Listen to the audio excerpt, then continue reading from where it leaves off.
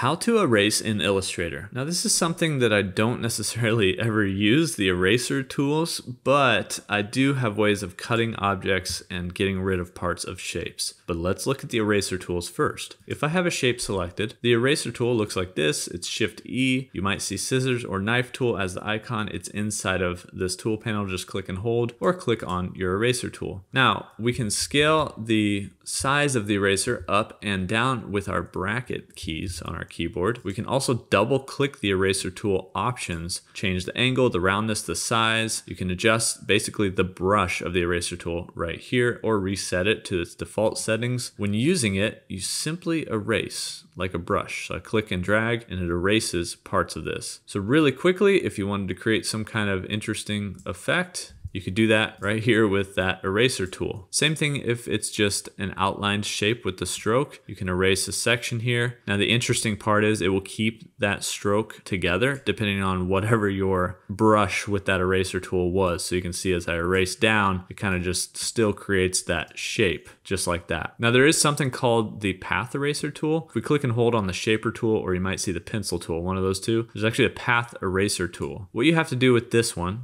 actually I need to get an object selected like this guy. When you see an anchor point, you can click and draw on that anchor point to erase from the anchor point to the end of your drawing. So if I let go, it just erased from that first anchor point down. So I could click on this anchor point and kind of draw back and it erases the path all the way to that point. If I click outside of it, it really doesn't matter where I'm at. Nothing can happen to it unless I click on an anchor point and use it. Didn't really know this tool existed. By the way, that does work with fills as well. If I'm working with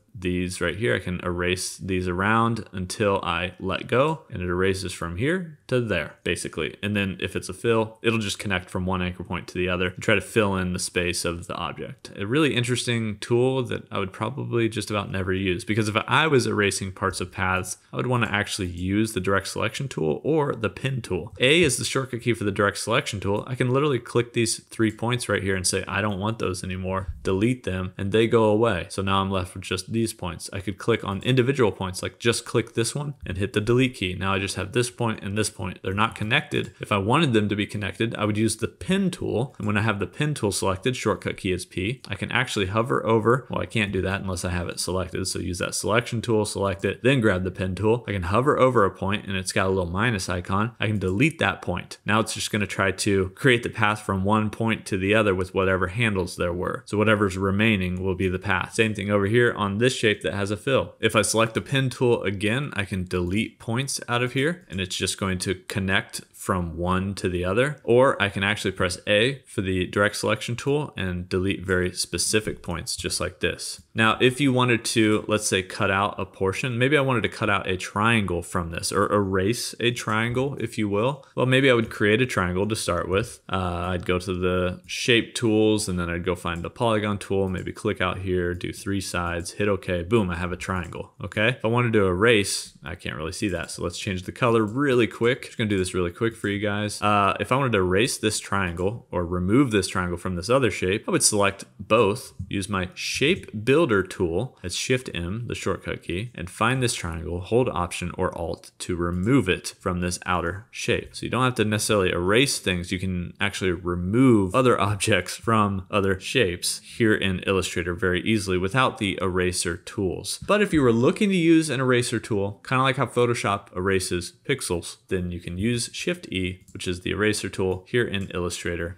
just like that. All right, guys, that is how to erase in Illustrator. I'll see you in the next one.